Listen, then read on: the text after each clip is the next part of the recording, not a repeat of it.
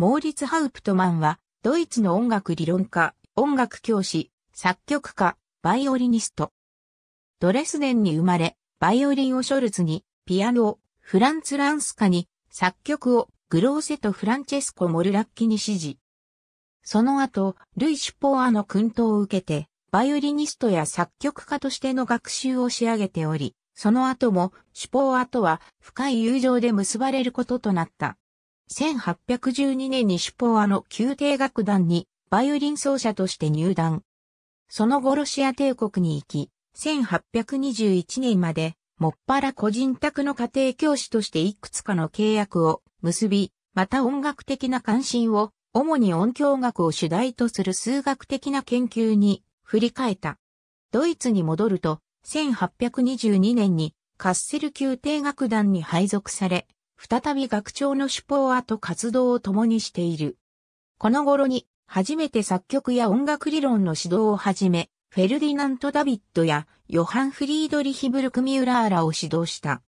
一時期は建築家としても雇われたが、結局は音楽の道を進むことになり、悲劇的なグランドオペラ、マティルデ、マチルドを作曲した。1842年にハウプトマンはゲバントハウス管弦楽団の学長、フェリックス・メンデルスゾーン・バルトルディの推薦状を得て、ライプチヒトーマス教会附属学校のカントルに就任し、終生その地位にあった。それから間もない1843年には、ライプチヒ音楽院の音楽理論の教授に就任している。1850年には、オットーヤーンと共同でバッハ協会を設立し、その初代会長を務めた。キューバッハ全集の最初の3巻を編集したのも、ハウプトマンである。トーマス・カントル在任中に、教育者としての独自の才能が繰り広げられ、たくさんの熱心な門人たちのおかげでその名声は、周知のものとなった。1868年1月3日に75歳で、ライプツヒに永眠した。1873年に、ライプツヒ西部の郊外にある路地が、モーリツ・ハウプトマンの名にちなんで、ハウプトマン通り、ハウトマンストラッサと命名された。ドレスデンのミクテン地区にも、ハウプトマン通りと呼ばれる街路があるが、やはり、ハウプトマンの名にちなんでいる。ハウプトマンの作品や活動は、今となっては忘れ去られてしまっている。